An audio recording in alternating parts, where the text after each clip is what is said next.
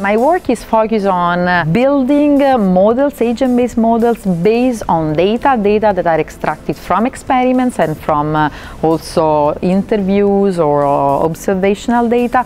I apply this cross-methodological approach to the study of illegal systems like extortion racket system, protection systems, but also for understanding the more general the emergence and change of social norms. There is not much about uh, crime and agent-based simulations.